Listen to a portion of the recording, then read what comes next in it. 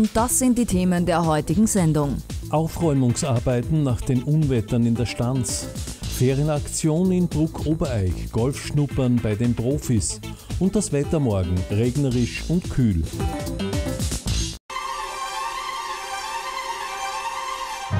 Kleine Bäche verbunden mit oft großer Wirkung. Im Mürztal, genauer gesagt in der Stanz, haben durch die heftigen Regenfälle starke Vermurungen und Hangrutschungen stattgefunden.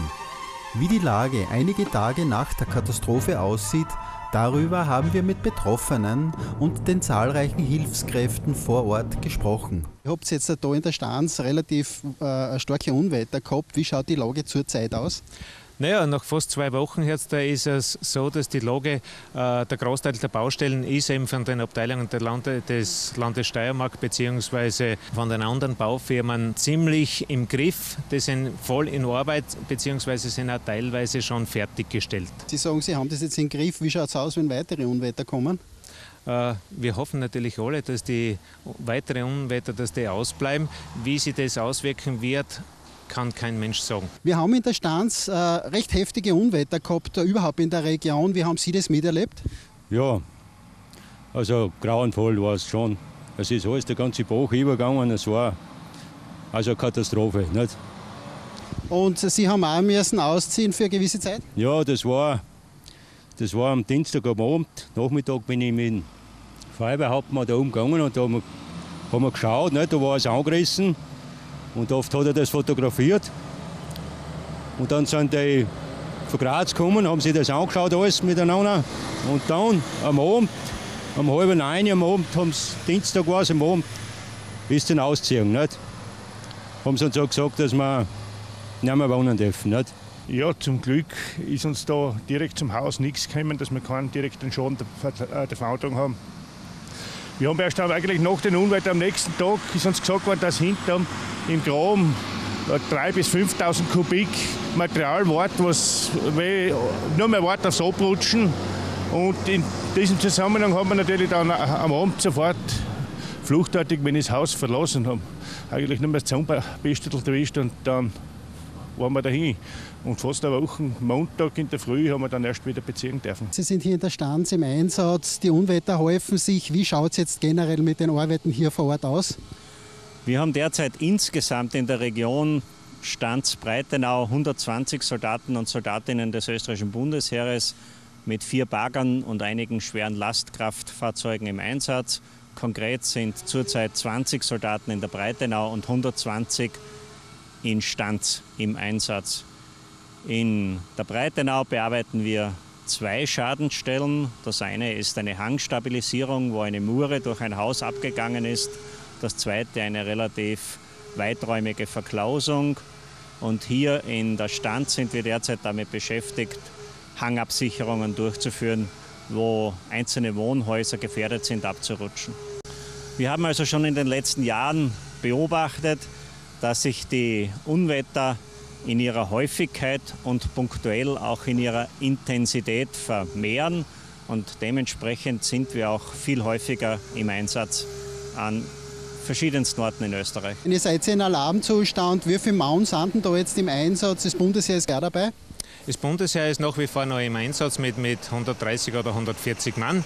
Äh, die Feuerwehrstanz ist seit knapp zwei Wochen im Einsatz, wobei sich unsere Tätigkeiten in der letzten Woche sukzessive reduziert haben. Ähm, ja, für uns sind eigentlich jetzt die Reinigungs- und Aufräumungsarbeiten noch weiterhin. Wie haben Sie den Einsatz der Feuerwehr des Bunde Bundesheers und der Gemeinde gesehen? Ja, der Einsatz gewaltig.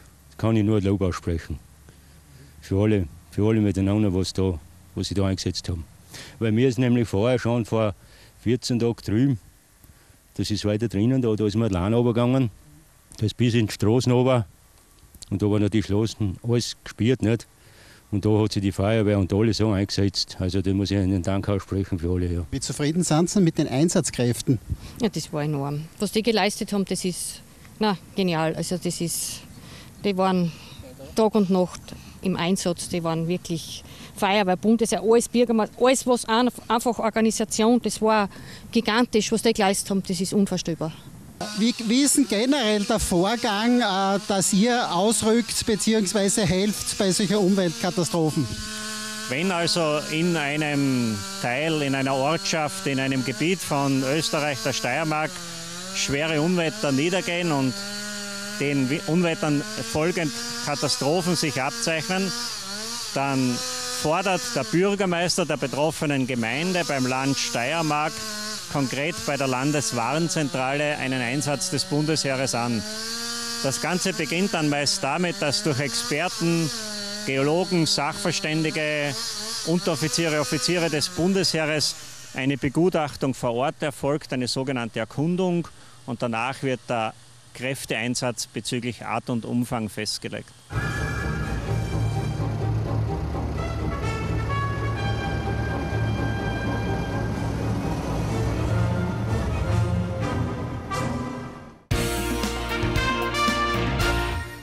Der nächste Programmpunkt beim Brucker Ferienpass war das Golfen.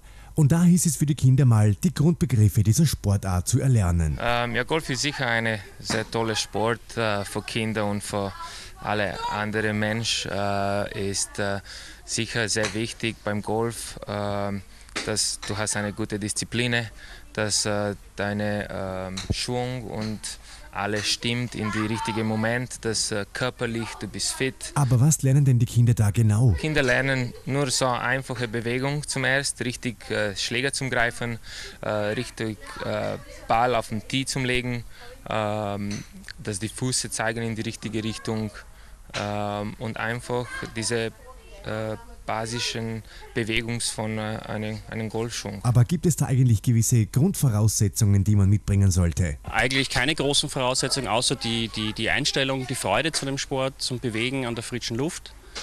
Aber eigentlich kann jeder Golf spielen. Aber auch Erwachsene sind von der Faszination Golf gefesselt. Faszination Golf ist, dass es ein, ein Sport ist, den, den jeder ausüben kann, der sehr vielfältig ist. Das heißt, man kann, man kann den Sport äh, auf sehr viele Arten betreiben.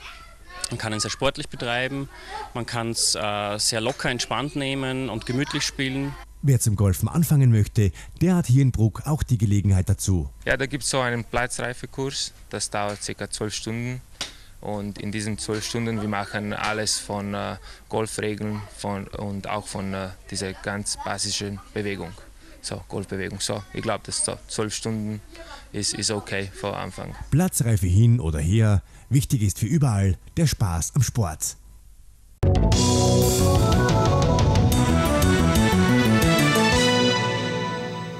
Murenschalk und Gaukelei in der Brucker Innenstadt am 12. und 13. August in der Kornmesserstadt mit Künstlern und Gauklern aus der ganzen Welt.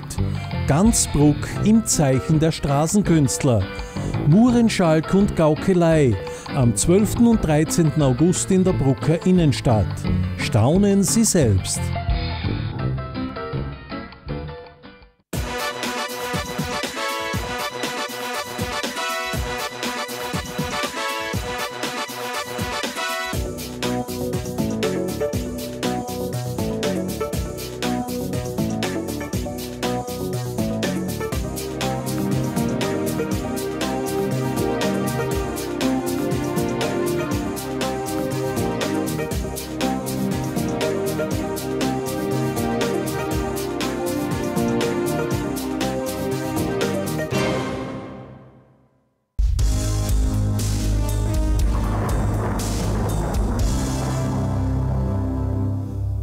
Heute war es zunächst sonnig und warm. Am Nachmittag gab es erste Wolken und etwas Regen.